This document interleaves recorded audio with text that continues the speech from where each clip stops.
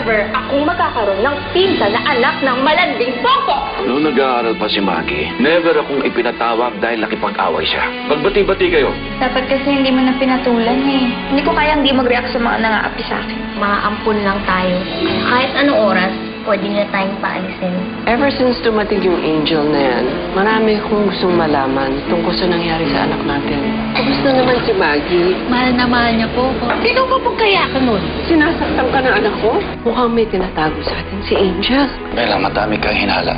Pero bukas malalaman na natin resulta ng DNA test. Doon, mapapatunayan natin kung totoo nagsasabi si Angel. Alam ko po na hindi ko dapat hilingin to, pero sana hindi siya yung totoong anak ka rin ng Monteclaro. Maraming at-stake kapag siya ang anak ni Mami Maggie. Akan positive. Ikaw ba ang apo ko? Ikaw ang anak ni Maggie. Opo, Lolo.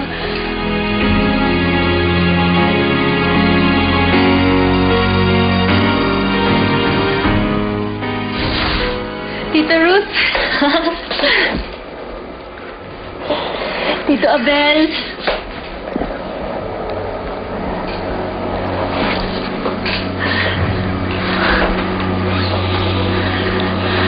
Ikaw talaga ang anak ni Maggie. Ikaw ang apo namin. Lolo, sobrang saya ko po.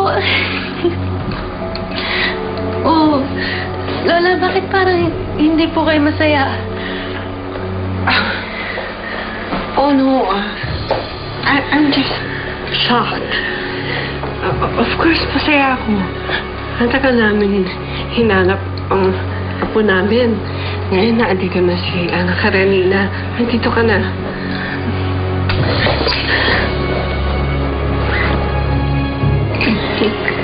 Welcome to the family. Ana Karenina Monteclaro.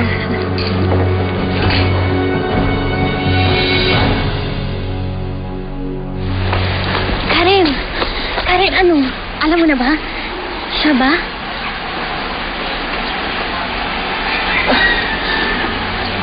Positive yung resulta eh. Siya yung totoong anak ka rin ni Monteclaro. Then it's true. Siya nga yung tunay na apo. Paano na yan? Ano nang mangyayari sa atin? Hotel. Mga sampid na lang tayo dito.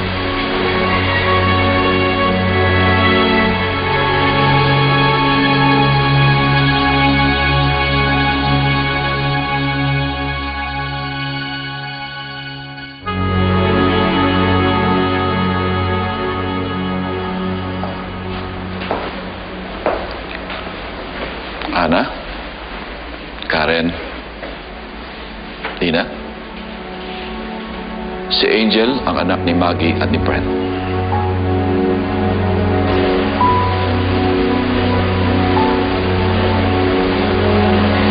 Siya yung hinahanap naming apo. Pero huwag kayong mag-alala. Hindi naman kayo kailangan umalis dito dahil mga apo rin namin kayo eh. Lola, salamat po.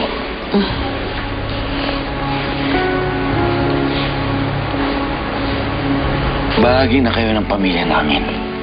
Kaya isipin niyo na lang na lumaki tayo at masaya. Tama po kayo dyan. At basta masaya po tayong lahat, okay na rin po kami doon. At salamat na rin po dahil hindi po kami kailangang umalis.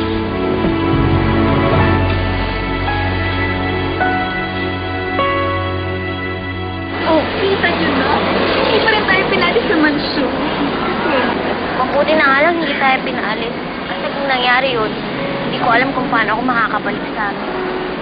We have to think of a way para hindi nila tayo palayasin. Oh, naku, ayoko, no? Baka talakan na naman ako ni Carla, sabihin pang straw na naman ako.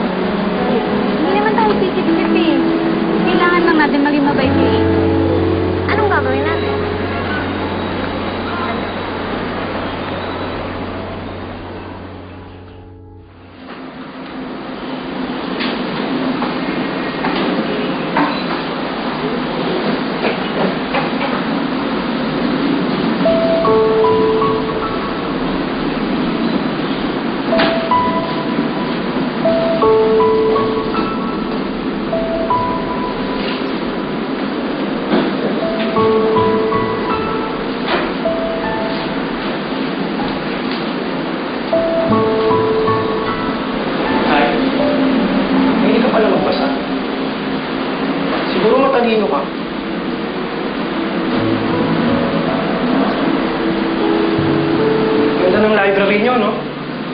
kasing libro dito eh.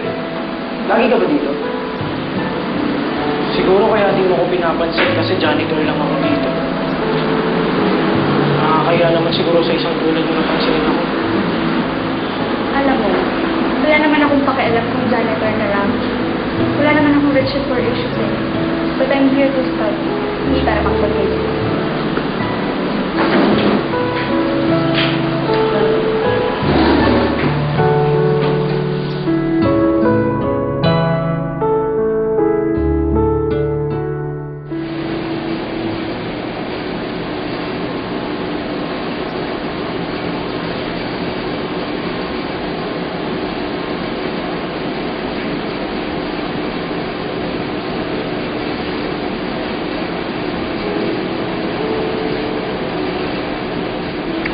Angel.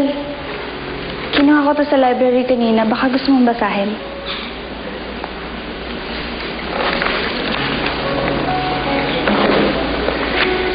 Ah, marami pa akong magazine dun sa kwarto. Gusto mo pahiramin kita? Hindi na. Madami pa akong binabasa. Angel, kain ka muna. oh. Ako mismo naghanda nito. Masarap to, promise. Tikman ko na ito kanina. Sarap yan. Isa, dalawa, tatlo. Tatlo palang sip-sip sa pamamahay na to, no? Alam niyo, dapat kasi umalis na kayo kasi hindi naman kayo pamilya. Tsaka hindi ba kayo nahihiya na pinagsisiksikan niyo yung sarili niyo dito? Kung ako sa inyo, umalis na kayo dito. Huwag niyo nang hintayin na paalisin pa kayo dito. Dapat kusa na kayong umalis. Angel!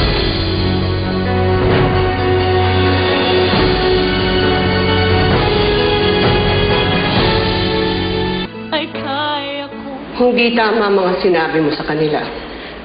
Bakit naman po naging mali, Lola? Di ba tama naman po ako? Dapat umalis na silang tatlo dito. Hindi ba't narinig mo ang sinabi ng lolo mo? Mga apo ang turing namin sa kanila. Kaya walang aalis sa kanila dito. Pero Lola, hindi niyo po ba nakita kung paano sila naging sip-sip sa akin kanina? Hindi sila sumisip-sip. Nagiging mabait lang sila sa'yo. Pero napagsalitaan mo sila ng masama. Makinig ka sa akin, ha? Hindi ko alam kung paano ka pinalaki ni Maggie. Pero sa akin, hindi maaari ang ganyang ugali.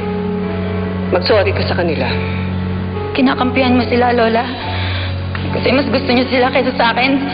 Angel, mag-sorry ka.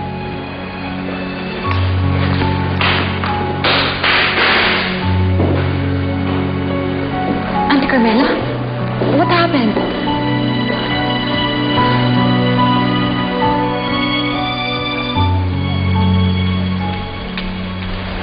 Ah, Ana! Ana, okay ka lang? Oh, bakit? Wala. Si Angel kasi. Ah, si Angel. Ah, yung totoong anak kanina? Nakikwento nga sa akin ni Carla. So, what about her? Nakita kasi ni Lola na sinungitan kami ni Angel. Hey? Tapos nagalit siya. Kitang-kita ko sa mata ni Lola na, na nasaktan siya dun sa ginawa ni Angel. Naku, konsensya ako. Kasi pakiramdam ko kasalanan ko eh. Naging feeling close kasi ako kay Angel kaya ayun, nainis siya. Ha? Hindi mo kasalanan yun, no? Naggusto mo na maging friends lang kayo. Eh, ayaw niya. So, problema niya yun. Hayaan mo na yun, Ana. Okay lang yun. Pero di ba magkasama kami sa isang bahay? Dapat magkasundo kami. Hmm. Yeah, pero... Di ba hindi man kayo magkasundo ni Carla din? Pero gusto ko.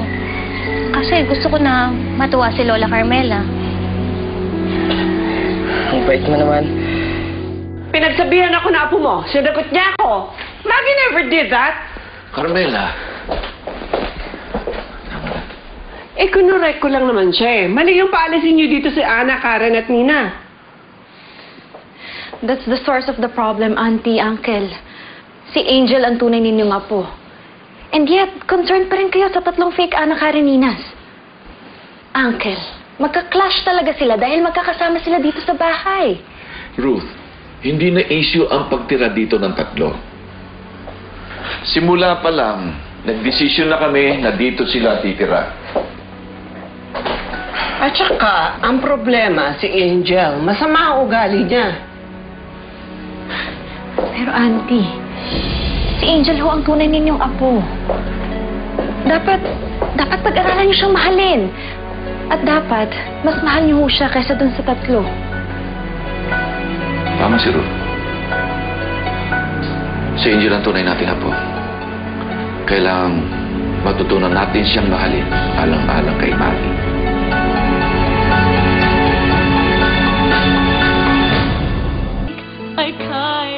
Pero Ana, it's really not your fault. Naging friendly ka, gusto mo kipagkaibigan, tapos ayaw niya, okay lang. Ano problema yun? Salamat, Rex, ha.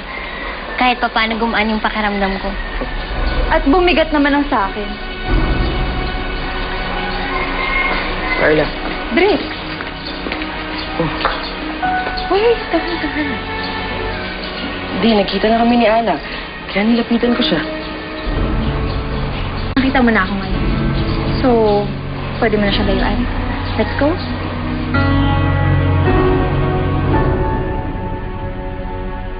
Alam mo, masungit ang pinsan mo si Angel. Paano? Sabi sa akin ni Ana, sinabihan daw sila na umalis na lang. Talaga? Sinabi niya yun? Oo. Eh, alam mo, naawa nga ako kay Ana eh. Ang bait-bait naman niya, tapos sasabihan siya ng ganun. Brick, Anna's not nice. Bait-baitan lang yan. Siyempre, ganun yung mga poor. Magaling sila mag mukhang helpless. Magaling sila magpaawa. Para makalamang sila sa iba. Kung ako sa'yo, hindi ako naaawa dun kay Anna. Tsaka pwede ba, iba na lang pag-usapan natin? Huwag na lang si Anna. Sisira yung araw ko eh.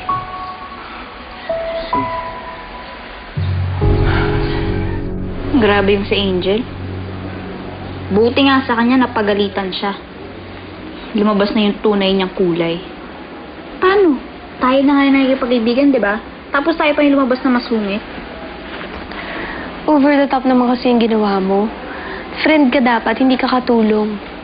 Nina, ganun ako makipagkaibigan.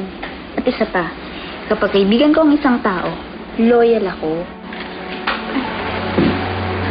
Angel, hindi ka naman kumatok. Ay, sorry ah. Um, Karen, Nina, pasensya na sa inasal ko kanina. Hindi ko sinasadya. Sorry kung nasungitan ko kayo. Masama lang talaga yung pakiramdam ko kanina eh. Hindi, walang kaso sa amin yun. Basta huwag mo lang uulitin. Same here. Maraming salamat.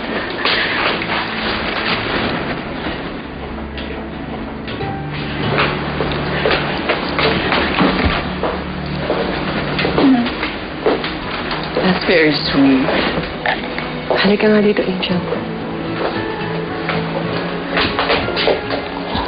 Matutuwa ako sa ginawa mo. Marunong ka rin palang humingi ng sorry. Siguro nga dapat mas intindihin pa kita. Pasensya ka na kung napagalitan kita. Sana mapatawad mo rin ako. Opo, Lola. Maraming salamat po. Mahal na mahal ko kayo.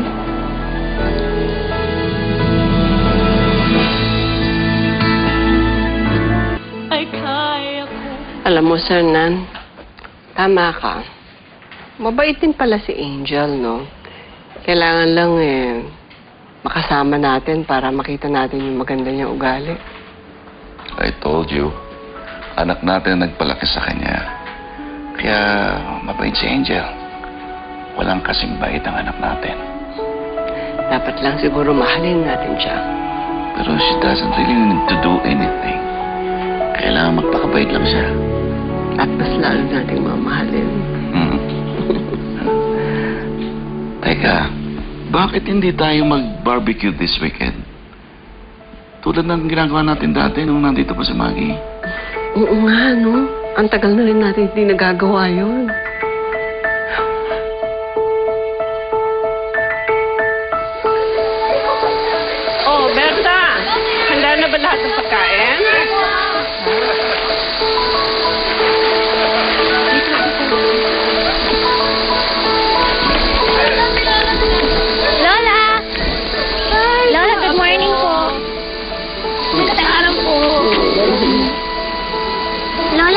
Ano pong okasyon? Kumpleto kasi pamilya natin. Dati, pag weekend, we do this. You know, time to relax, at saka family bonding time together. Kayo? Kayo, Jimmy. Bongga, bongga. Paano po kaya kung meron pang may birthday ng isa sa amin? Of course, not bongga. Sayang, di tayo marunong lumangoy. Di ba? Okay na lang kayo. Ayun, yun na lang, yun na lang. Kayo. Taga, ano? Hi! Hi, Nick. Hello. Hello. Tara, tampisaw tayo sa tubig. Ah, sige. Gusto ka na ba? Sige. Hindi na ako marunong Hi, Karen. Hi. Ah, Manang, may, may itutulong ba ako? Ay, wala po, ma'am. Wala po. Karen, galit ka ba sa akin? Ka umiiwas? Hindi ako umiiwas, Aldrin. Lumulugar lang ako. Alam mo na, dahil damo lang naman ako. Gala! Beto pa help. Sapo ko. Ah, Okay naman po. Meron pa nga pala akong apong hindi nayayakap.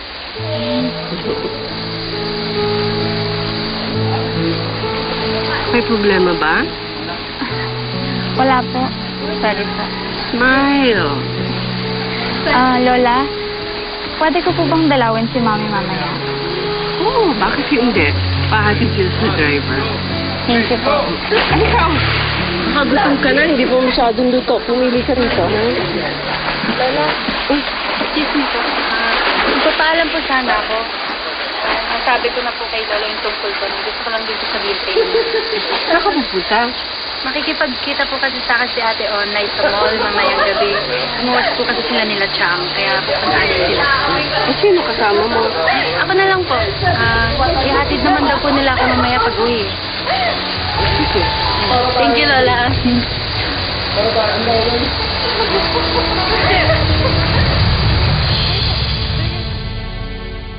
Ay, nako, Sernan. Ang saya-saya ko talaga ngayon. Pakiramdam ko, perfecto na ang pamilya natin eh. pareho tayong nararamdaman, Carmela. Huling naging masaya ako. Tandaan ko nung nandito pa si Maggie. Sernan, Hmm. do you think kailangan natin sabihin kay Brent na nakita na si Angel? Bakit hindi? Kahit hindi natin gusto si Brent, ama pa rin siya ni Angel. Kung tayo nga natuwa eh, sigurado ko mas matutuwa yun. I'm just so happy today.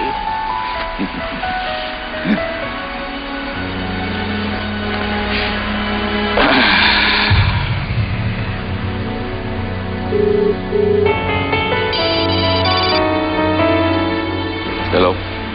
Brent? Sir Sernan, napatawag po kayo. Ah, gusto kong pumunta ka rito bukas.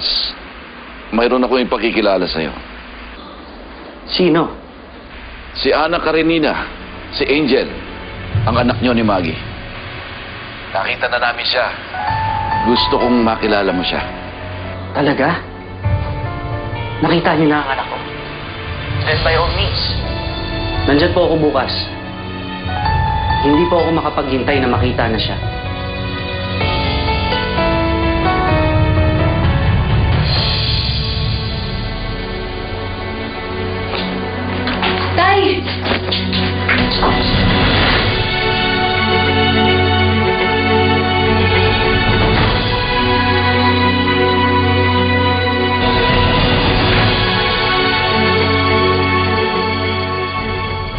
Ilang tinig ay kaya kong tapat. Kamusta ka na anak? Ay, okay naman po ako. Alika, maupo ka, maupo ka. Ano, ano? Kamusta ang buhay mo sa bahay ng mga Monteklaro? Ay, ayun po, maayos naman. Paniwalang paniwala nga po sila sa akin. Ako yung tunay na anak ka rin eh. Talaga, ha? Opo, nag-match nga po kasi yung DNA natin eh. Pero kinabahan po ako nung lumabas na yung resulta. Akala ko kasi magiging negative. Ba't ka naman kakabahan, anak? Kahit anong pabalig-balig na rin mo dyan sa resulta na yan, iisa lang ang lalabas dyan. Ang katotohanan. Eh, totoo naman tayo ang mag-amay.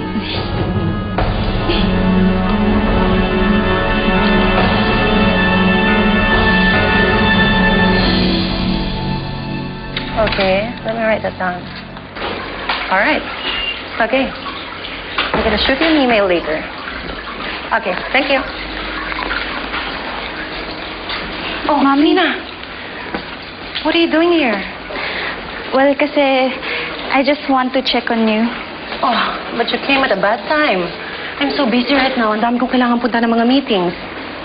And isa pa, nakuha ko na yung loans ko sa mga Monte Claro. Ang dami kong kailangan ayusin ang mga utang ko, alam mo na. Okay lang, Mommy. I just want to embrace you. Hello? Yes. Yeah, I'm on my way. Okay, thanks. I'm sorry, Nina. Pero bibisitahin na lang kita sa mga Monte Claro when I'm free. Alright? Okay. Can you lock the doors when you leave? Okay? Yes, Mom.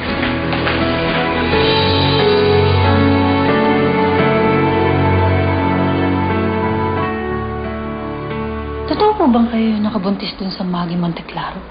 Siyempre hindi, no? Eh, bakit sabi nila ikaw din nakabuntis sa kanya? Hindi ako nakabuntis sa kanya. Si Brent. Eh ang kaso, hindi ko naman kilala kung sino yung Brent na yun. Eh, tay, bakit ba tayo nagpapanggap? Eh kasi anak, may nagutos sa akin. Malaki ang bayad dito. 12 million pesos. Talaga, tay? Ganun kalaki? Ay, grabe, mas malaki pa yun sa pabuya kapag nakita yung totoong anak ka rin, Nina. Kaya nga eh. Pero tay, sino pong nag-utos sa inyo? Ako ang nagpautos sa tatay mo.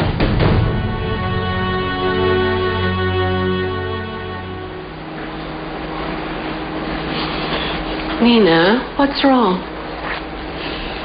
Huh? Ah, I'm sorry. Ayaw mo palang payakap.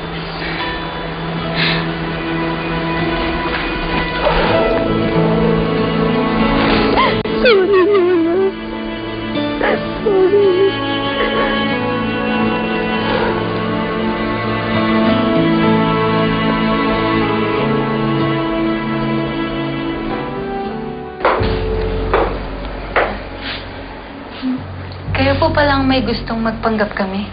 Ah, Andrew Cruz, sir. Ako po pala si Brent. Ay, ako naman po yung nagpanggap na anak ka rin, Nina. Gaya na pag-usapan natin. Mayaman na tayo. Oo nga, tay. Ang ibig sabihin po ba kayo yung boss ng tatay ko? Hindi. Ang totoong boss ko,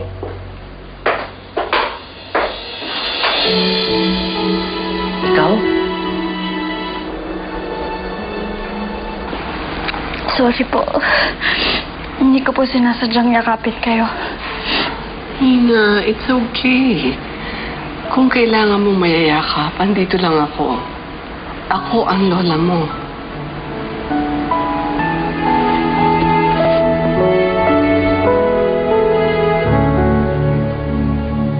Kayo po ang may pakana nito? Si Al.